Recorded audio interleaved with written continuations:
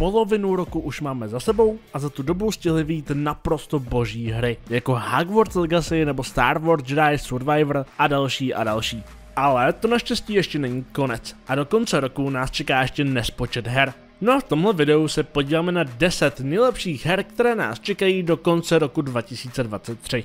Číslo 10 Alan Wake 2 po 13 letech se konečně dočkáme plnohodnotného dalšího dílu. Pokračování bude stejně jako první díl akční adventura z pohledu třetí osoby, která ale tentokrát bude více stylizovaná jakožto survival horror. K dispozici budeme mít dvě hratelné postavy. Kromě spisovatele Alana Wakea tak si zahrajeme i za agentku FBI Sage Andersovou.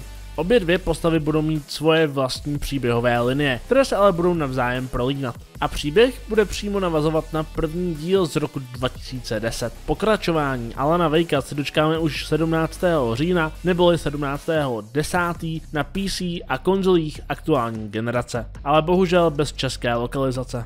Číslo 9 Stalker 2. Máme tu další hru, která se dočkala pokračování po několika letech, a to konkrétně po 17 letech. Jedná se o akční střílečku z pohledu první osoby s prvky hororu a nadpřirozena. Příběh se bude odehrávat v okolí Černobylu a vaším úkolem bude rozhodnout o osudu zóny. Hra zároveň jako jedna z prvních bude využívat Unreal Engine 5.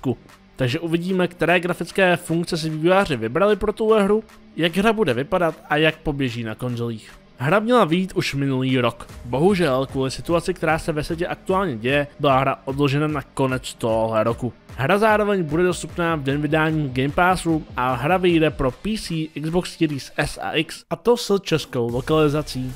Číslo 8 Assassin's Creed Mirage.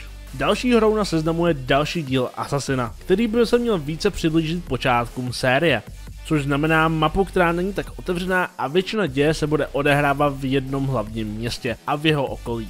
Hra by opět měla klást větší důraz na stealth a mělo by se upustit od RPG prvků, což je zároveň něco, co fanoušci chtějí už několik let.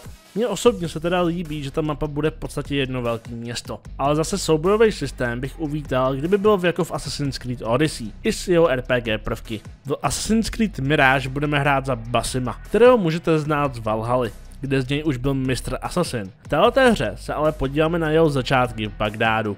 Každopádně hra vypadá opravdu velmi zajímavě a vychází 12.10. a budu pravděpodobně na hru dělat nějaký videa. Takže pokud byste o ně nechtěli přijít, stačí dát tlačítko odběr, aby vám videa neunikly.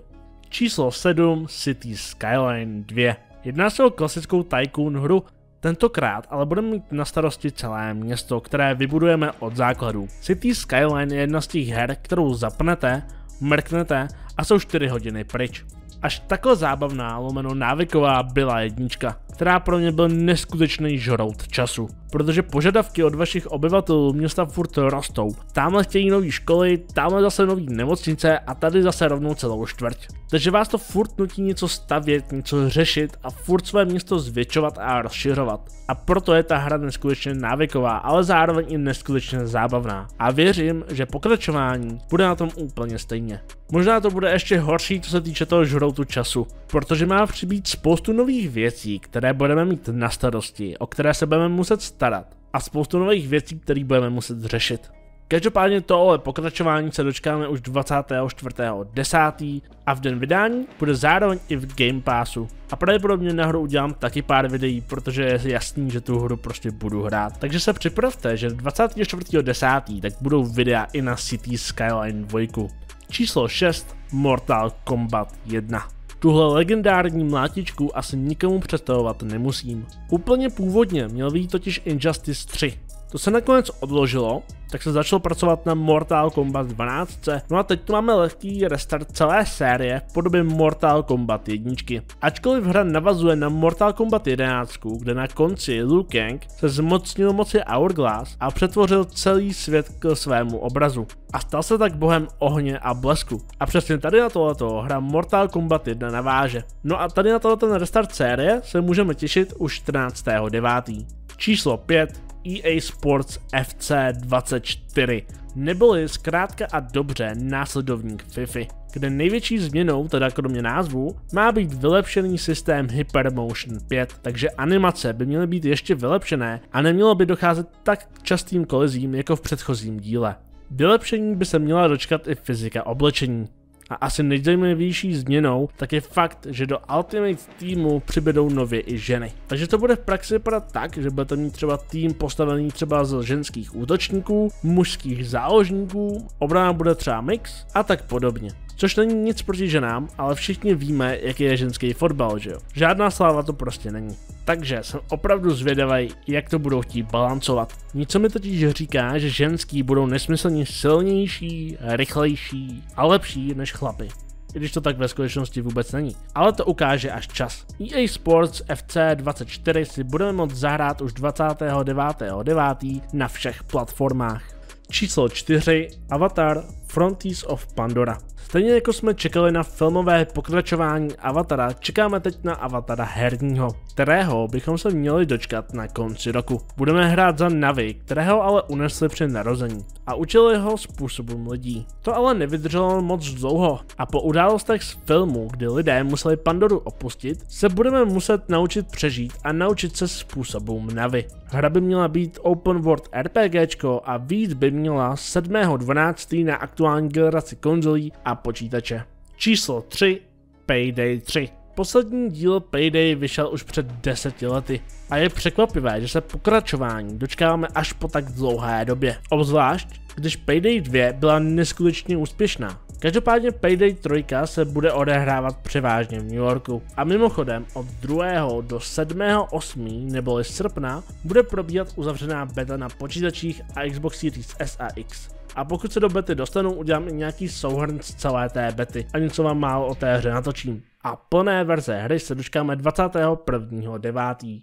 Číslo 2 Starfield. Asi nejočkávanější hra za posledních 10 let a zároveň nová IP od Bethesdy za posledních 25 let. Na tuhle hru je zvědavý asi úplně každý. Pokud by mi někdo řekl, jestli chci Fallout ve vesmíru, tak bych mu na to odpověděl tisíckrát ano. A přesně tohle Starfield je. Je to v podstatě vesmírný Fallout. Akorát s tím rozdílem, že budeme moct proskumávat tisíce planet, auto, kosit hromadu nepřátel, stavět základnu a podobné věci. Hra bohužel poběží na konzolích jen na 30 fps, což je za mě obrovská škoda a určitě by to šlo udělat nějak, aby hra běžela na 60 fps, i když třeba by nevypadala tak dobře. Každopádně vývojáři se rozhodli, že nechají jenom 30 fps a budou se co nejvíce snažit, aby ta hra byla co nejhezčí. Ale i přes tohoto všechno se hry dočkáme už 6.9. a hra bude v den vydání i v Game Passu. Ještě předtím, než se vrhneme na první místo, tak bych chtěl zmínit pár her, který jsem do seznamu nezařadil, ale stojí za zmínku. První hra tak je Lies of P, další The Crew Motorfest, což má být taková trošku kopírka Forza Horizon, potom Forza Motorsport a poslední bonusovou hrou není tak úplně hra, ale spíš DLCčko pro Cyberpunk 2077 s názvem Phantom Liberty. I tyhle ty hry lomeno DLCčko stojí za to a myslím si, že se bude jednat opravdu o zajímavé hry. Číslo 1 Spider-Man 2. Jo, kdo mě nějakou dobu sleduje, tak už mu bylo naprosto jasný, že Spider-Man 2 v tomhle videu prostě bude. Jednak si myslím, že Spider-Man je nejlepší komiksový hrdina všech dob a za druhé, Spider-Man 1 jakožto hra, ale i hra s Milesem byly naprosto boží. V tomto pokračování budeme hrát jak za Petra, tak i za Milese. Novinkou je zároveň větší mapa, která se rozšíří o Queens a jelikož mapa bude skoro o polovinu větší, je taky na místě, aby se zrychlil i pohyb po mapě což je něco, na co vývojáři také mysleli.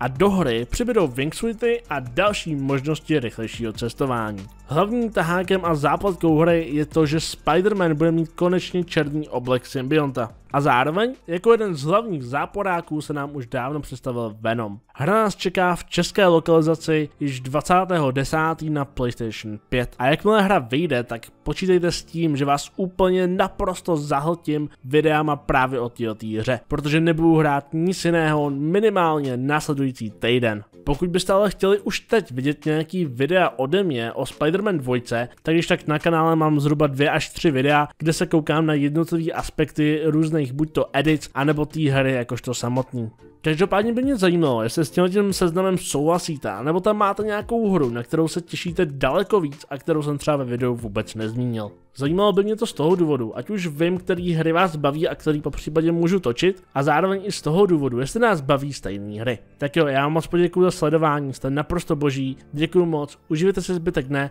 a zatím čus. Spider-Man is fighting on right now!